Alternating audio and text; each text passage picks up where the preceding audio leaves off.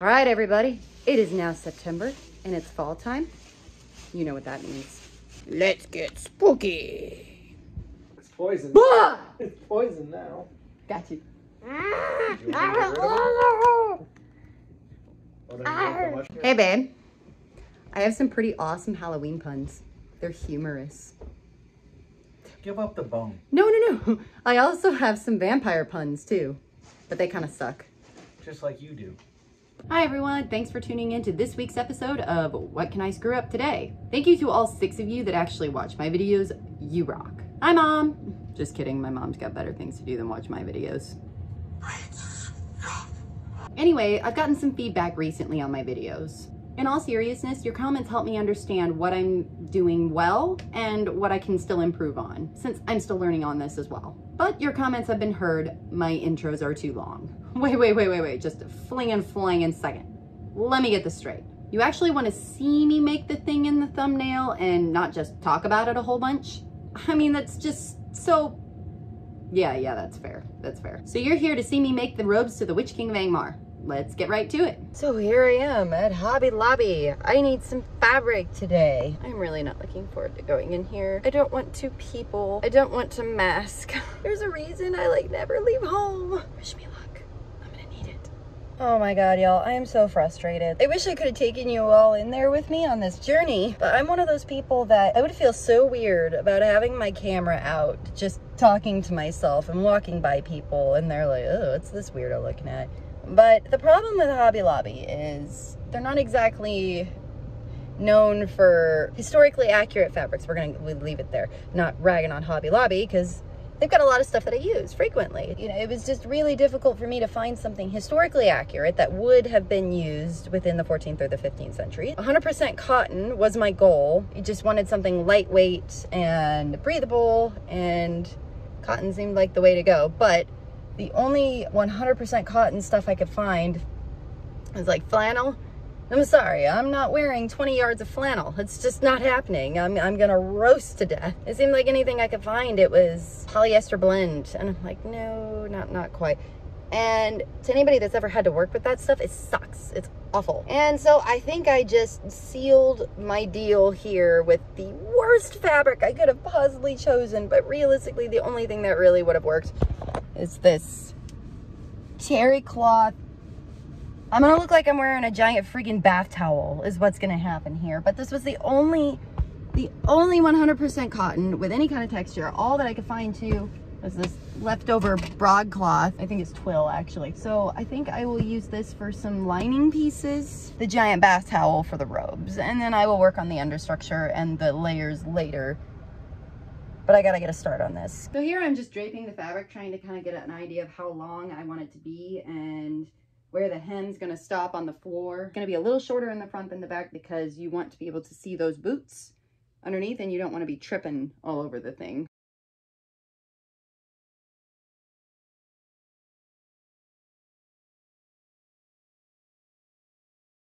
All right, so now I'm setting my shoulders right about this height because I'm going to be putting a hood on this section. I'm going to pleat this long section of fabric together.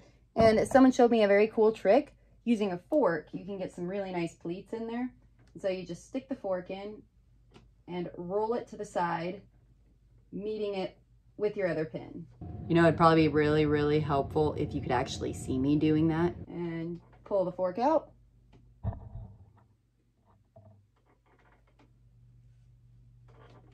And stick the pin in.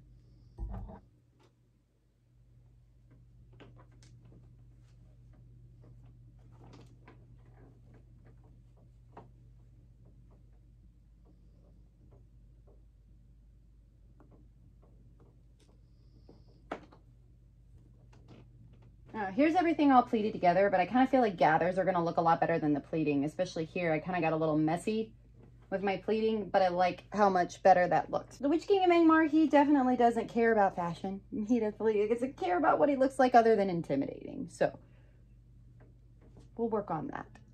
All right, just so I can show you kind of what I got going on here. I've pinned this together, selvage to selvage. Now selvage are the neat ends of the fabric.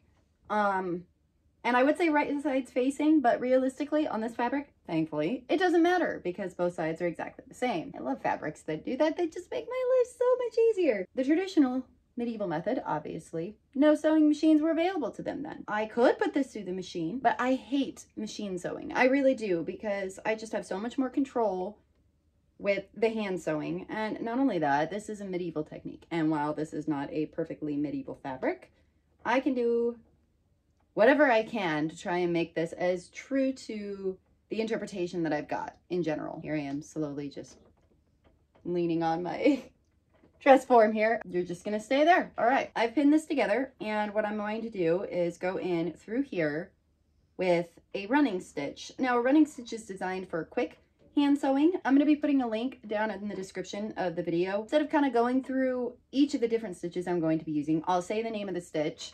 And then down in the video, uh, you'll find Bernadette Banner. She puts out awesome, amazing historical recreations and she talks a lot about hand sewing. Um, I think she's going to be a much better teacher for you than I would ever be as far as learning these different stitches. So I will to make sure to let you know what stitch I'm using and maybe some quick sped up footage of how I'm doing it. But if you're really looking for more detail on how to recreate it for yourself, that link is going to be your best bet. I'm going to hand sew this together because that's just how I roll.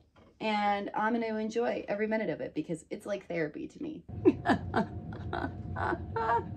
oh, oh, you're funny. Oh, you're hilarious. And yeah, it's going to take me 10 times as long, but it's just so easy to make make a mistake with the machine. So I'm really going to enjoy doing this and I will meet you back here when I'm finished with that. Probably like two weeks from now. Try three and a half weeks later. Look at this wonderful burrito of a model. Pick up your arms.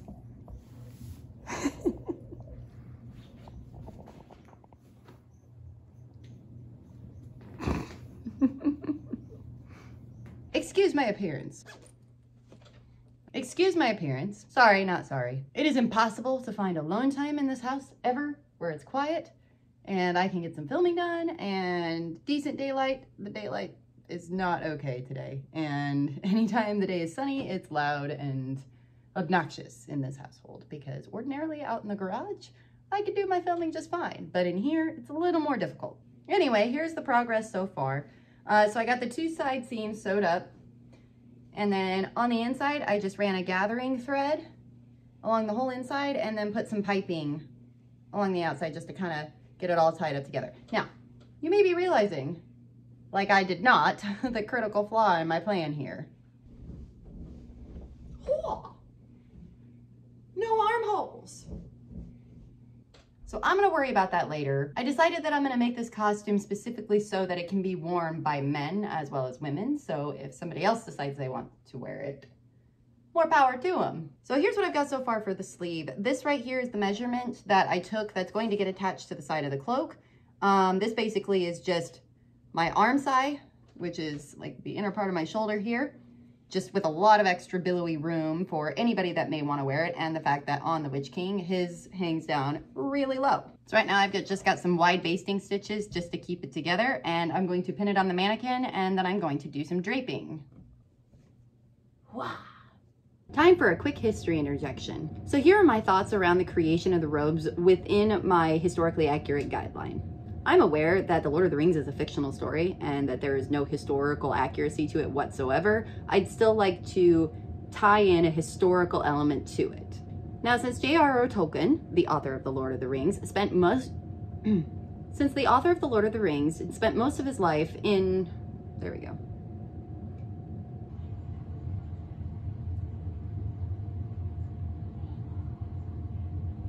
Since J.R.R. Tolkien, the author of The Lord of the Rings, spent most of his life in England, I'm inclined to conclude that his inspirations and his career would reflect English styles of dress.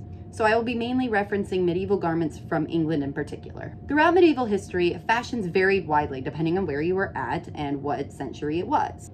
We first start with the scene where Frodo first meets the Witch King of Angmar on Weathertop.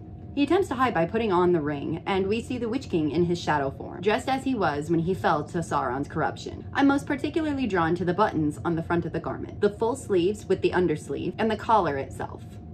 I have this wonderful book that I reference frequently for historical reproductions, so you can find that link down in the description below if you're looking to purchase this for yourself. His robes seemingly reflect a late 14th century houppelande with the very full sleeves, the buttons down the front, and the collar. The Witch King's armored shoes were of particular interest to me as well.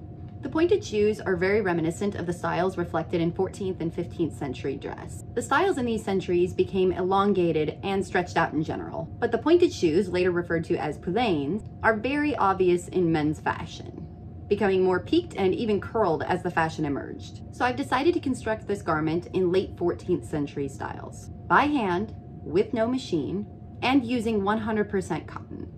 Historically, linen or wool would be more accurate. However, I have a budget to stick to and lack of nearby quality materials within my budget just aren't available. Though less common, it is not entirely implausible that cotton would have been used, and I'm not wearing 15 yards of wool. All right, so here's what I got for this so far. Got the sleeve. I think I'm definitely gonna make this a lot less pointy. I'm just gonna kind of take that inch and round it off right here just to kind of take the point out of it. So here I've decided to make a couple of changes. Okay, so there's my one of my reference images. Um, sorry, my printer decided to be all funny with the lines. But you can kind of see that he's got definitely a lot more volume. I cranked the dress form all the way up just so I could kind of see how this is going to hang on somebody taller than me. And I do plan on shortening the hem, but I don't like the way that it lays. It just lays too flat. It looks almost like a dress. And I definitely want some more volume in there while trying not to add too much weight, but I definitely need the bulk that's in here that I don't have. So I've gone ahead and I've cut two more pieces, this length for the front and the back, and then I've cut an additional one and then in turn cut that in half, and I'll show you why. All right, these are two separate pieces here, split on the fold, um, again in that same exact length. Now, what I decided to do here is I'm going to fold this fabric in half because I want the two halves to be equal on both sides. Now, because I want more volume than I'm getting out of this, I'm gonna use this yardstick here.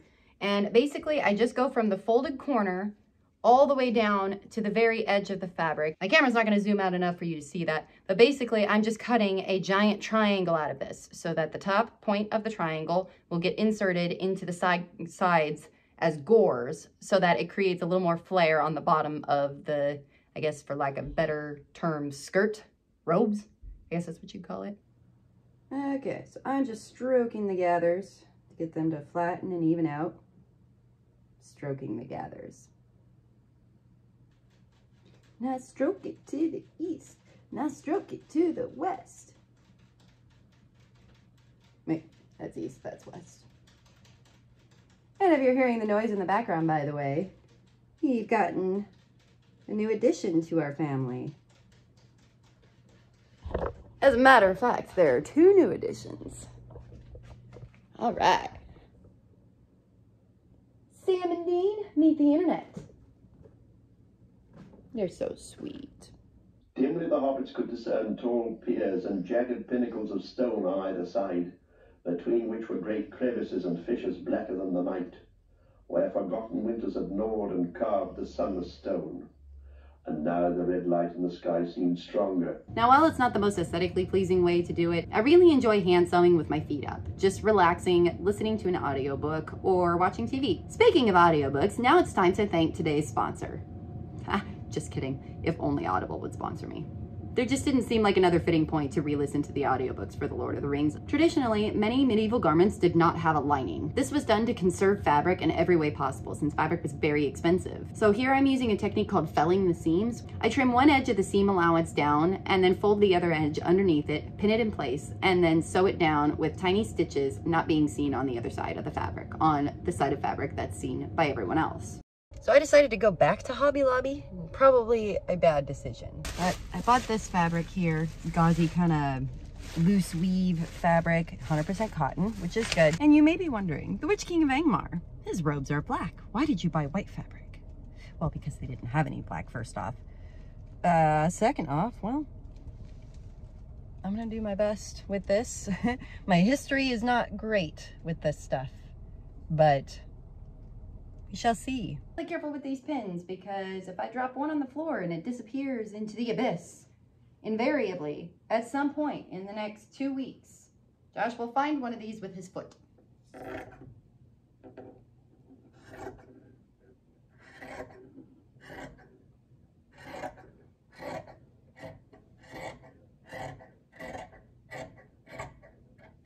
All right, got some black fabric dye. Let's do this. Pre-wash fabric to remove any finishes or stains. A cup of salt. It really seems like a lot. Okay. I feel like I'm like hosting the worst cooking show ever. Here, here's a whole cup of salt. I've got Gordon Ramsay in the background just screaming at me. Your dye bath is saltier than the sundering seas. All right, the fabric's already been pre-washed and wet.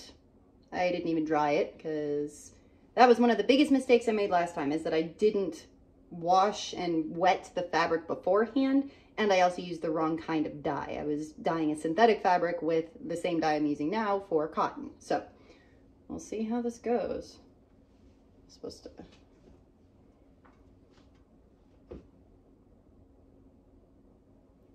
submerge it in bath. Totally already staining my hands in the counter. All right, it says to stir this frequently and leave it in here 30 to 60 minutes or until desired color is achieved. And since I want this to be blacker than my soul, we're gonna leave it in there probably for the entire hour, just to play it safe. All right, so here is the finished dyed pieces. And you know, I'm not entirely happy with them, but I really think that it could have turned out a lot worse than it actually did. So here's the black fabric for the robes, and you can see that there is just a slight difference in the color. Um, this is definitely a little bit lighter, almost kind of, uh, not quite navy, but just definitely a lot softer black, which it doesn't bother me terribly because there is also a lot of variance in the reference photos, um, in the colors and the different textures on the fabric, so it doesn't bother me too much, but it definitely could have turned out a lot worse, so I'm just counting my blessings for that. I did have a couple spots in the fabric that didn't quite turn out, uh, these ones here, and I think that's simply because uh, I didn't stir it enough or I crammed too much fabric into my small pot, but either way, like I said from the beginning, it doesn't quite matter because I mean, this thing's gonna get roughed up and messed up anyway. So my hands got dyed, my sink is dyed. I'm not even gonna talk about the inside of my dryer, but I'm happy with the way they turned out. Okay, so here is the costume so far. Uh, this piece up here just gets wrapped around the head like a hood. And then underneath here, we have the robe, or cloak, I'm sorry. Underneath here we have the cloak. And that's been gathered but not stitched down yet. And then I finished the sleeves. I'm really not happy with the way they've been inserted. I definitely really wish I would have put them higher up. But the problem was putting them higher up on anybody with broader shoulders, it's gonna sit, the sleeve is gonna sit way high up on the elbow. So it fits a lot better on poor Josh as my test dummy because his shoulders come out to where the shoulder seam actually is. So that works out good for him. I'm just trying to decide right now if I want to add the sleeves onto here or just leave it alone. All right, so now with the end of the project in sight, I've got a couple more things that I need to do to kind of tie it together before I can finish the project. I need to test out some weathering techniques, and I did some research on the best way to do this. Ironically, nobody has any information on how to make a towel look distressed because every tutorial I could find was how to make it look not distressed. So I'm gonna try a few different techniques that I saw, and I'm gonna be using four different ones that I've got here. So first we're gonna try burning with a MAP torch. Then we're gonna try sanding. And then we're going to try hammering it out in concrete. Thought, thought that one was interesting. And then we're going to use a wire brush to try to fray the edges and make this fabric look old and worn.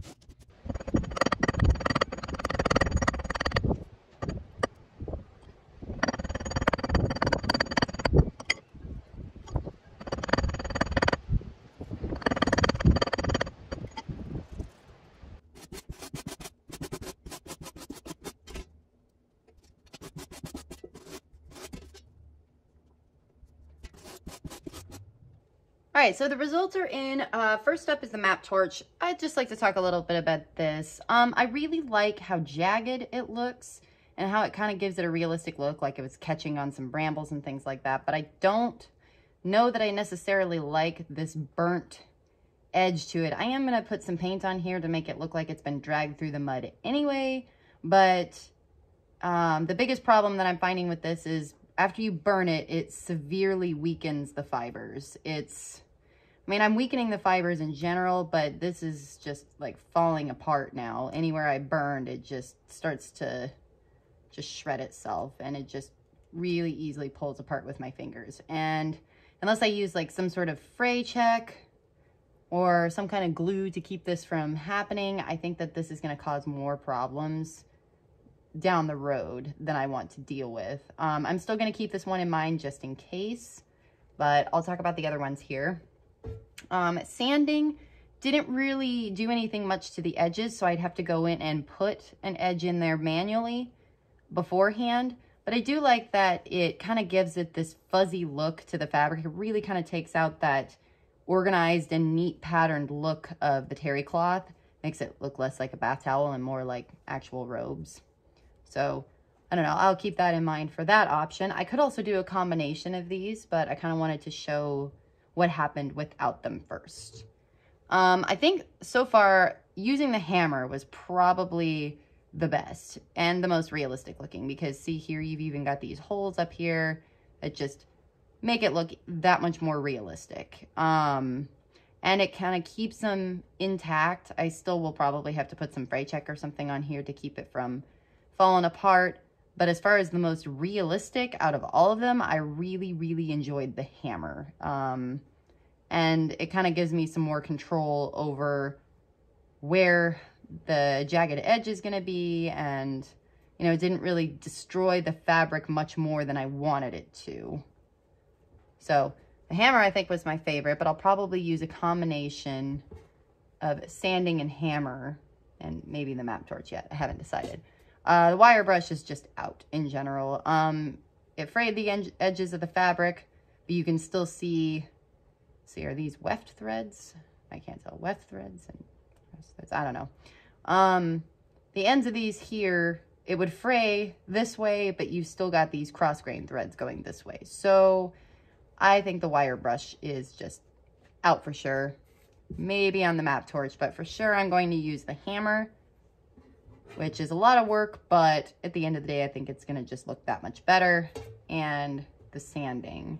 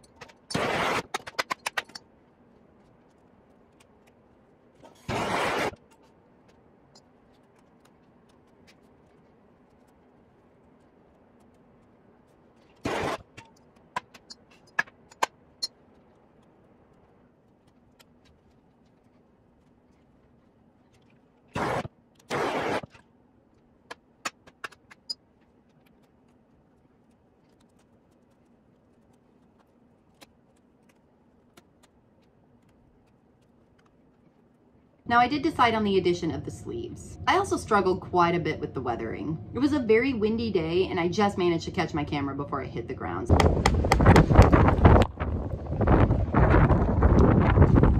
So I decided that filming most of it wasn't going to be ideal. I first used the hammer to get the general shape of the weathering along the bottom, and then I finished the rest of the areas with the blowtorch, kind of just burning off those extra little bits and pieces. It wasn't ideal because it did discolor the fabric, but after putting the fabric in the wash, it completely took out all that discoloration.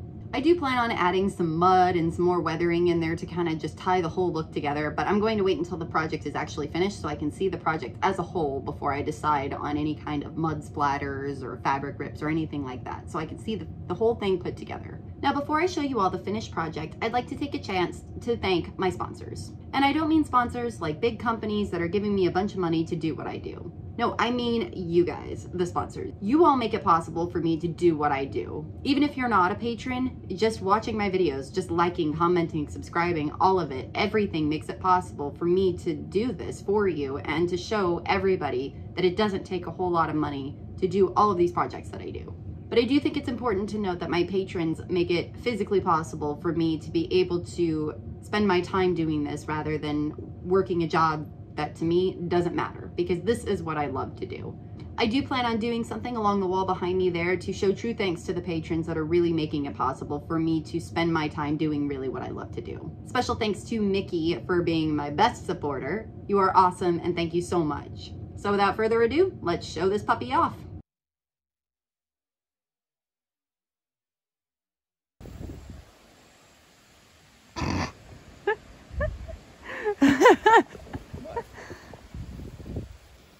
to strike fear into the hearts of men. And my shadow's in there. There we go. Just tell me what you want me to do. No man can slay you. Want to ride a horse? Yeah, I like a horse and a fell beast, so. Super technical, awesome shoes. Jesus sandals. Yeah, you do. Little known fact. Witch King was a Simpsons fan?